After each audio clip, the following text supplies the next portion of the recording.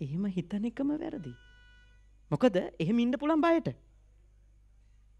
එහෙම ඉන්න පුළන් බයටනේ. එහෙම ඉන්න පුළුවන් ලාභ ප්‍රයෝජන ගැන හිතලා. දැන් ගොඩක් වෙලාවට ලංකාව මිනිස්සු කටපියන් ඉන්නේ. නේද? මේමයි කියවන්ඩ ගිහිලා මේ තියෙන එකත් නැති කරගන්නේ මොකටද කියලා මිසක තේරුම් අරන් නෙමෙයි. එහෙම නැත්තම් විශාල බයක් ප්‍රතිලාභ ඒකයි තේරුම් ගැනීම කියන එක වෙන්නේ නැත්තේ. ඒ කියන්නේ අනිත් අය තේරුම් ගන්න අපිට නොහැකි වෙන්නෙම අපගේ ඇතුලේ විශාල ආත්මාර්ථයන් තේරුම් ගැනීමට අදාළව අපි ගොඩ ගහගෙන තියෙන නිසා. ඒ නිසා අවසාන වශයෙන් මා ඔබට සිහිපත් කරන්නේ හැම කෙනෙක්ම ඔබ හැම කෙනෙක්ම උත්සාහ කරන්න තමන්ව වටහා ගන්න.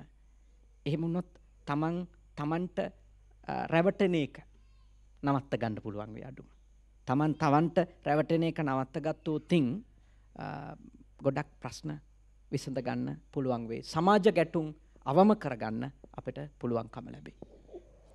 මේ ගුවන් කාලය අපිට අත්නෝමතික විදිහට පරිශීලනය කරන්න බැහැනේ. අපි ඒකත් තේරුම් ගන්නට ඕනේ. ඒ නිසාම මේ සාකච්ඡාව මෙතනින් අවසන් කරන්න සිද්ධ වෙනවා. අපි හාමුදුරන් වහන්සේට নমස්කාර පූර්වක ස්තුතිවන්ත වෙනවා. පුණ්‍ය අනුමෝදනා කරනවා. ඒත් එක්කම ගාමිණික මාන විධාන මැතිතුමනි ස්තුතියි.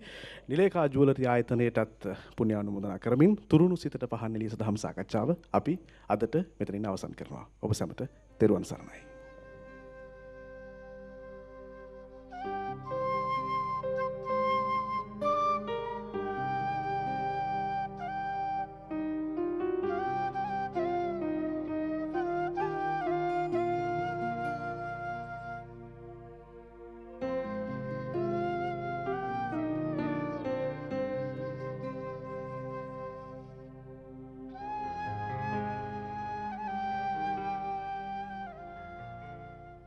තුරුණු සිතට පහන් එලිය ඔබ වෙත ගෙනීමේ බැතිබරදායකත්වය නිලේකා චුලරි මාතර වැලිගම ගාල්ල නුගෙගුඩ සහ කිරිබත්ගොඩ.